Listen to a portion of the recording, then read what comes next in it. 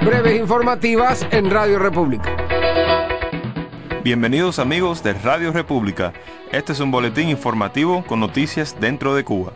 Este 10 de agosto, desde Quemado de Guines, Villa Clara, la activista del movimiento cubano Reflexión, Maideris González Almeida, está denunciando el acoso que está sufriendo ella y su familia en esa localidad. González Almeida, su esposo y sus tres hijos llevan varios días rodeados por turbas de la policía política quienes le impiden salir de la vivienda y los insultan y amenazan. El pasado sábado 4 de agosto, dicha familia, al igual que otros opositores, se congregaron en esa vivienda para realizar una actividad cívica exigiendo libertad para Cuba y sufrieron un violento acto de repudio y luego fueron arrestados 12 personas. González Almeida cuenta que desde ese sábado la policía política y la seguridad del Estado ha incrementado sus amenazas a su hija de 15 años de edad. Incluso fue interrogada por agentes de la PNR, entre ellos José Roque. La activista añadió que también ha recibido amenazas por parte de Cira María Larrondo, una colaboradora de la seguridad del Estado, de que iba a quemar su casa con toda la familia dentro.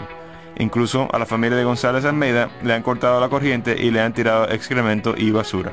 A pesar de que permanecen bajo vigilancia y acoso, esta familia opositora ha afirmado que no claudicará en la lucha por la libertad de Cuba.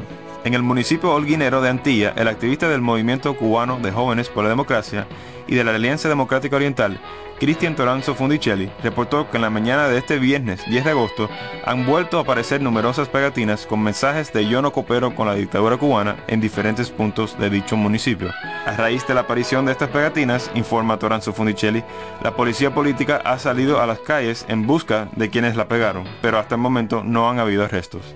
Según la activista, pegatinas y carteles antigubernamentales vienen apareciendo en Antilla casi todos los días y son muestras del descontento popular de la población. Placetas, Vía Clara, en la noche del 9 de agosto, numerosos activistas de derechos humanos fueron rodeados en la vivienda de Jorge Luis García Pérez Antunes e Iris Tamara Pérez Aguilera por efectivos de la policía política para impedirles a estos llegar a misa en memoria de Oswaldo Payá y Jaro Cepero en la iglesia San Atanasio. Al enterarse de la situación represiva, el padre Ivo, el cual predica en dicha iglesia, logró romper el cerco, personarse en dicha vivienda y llevarse varios activistas, entre ellos Iris Tamara Aguilera, Donaida Pérez Paseiros y Arturo Conde Zamora, dejándolos entrar en la iglesia. Aunque dos activistas fueron arrestados, Blas Fortún y Dora Morales, Iris Tamara Pérez cuenta que fue un momento en donde la solidaridad triunfó sobre la represión del régimen cubano. Hasta aquí son las noticias de Radio República. Fue para ustedes Raúl García.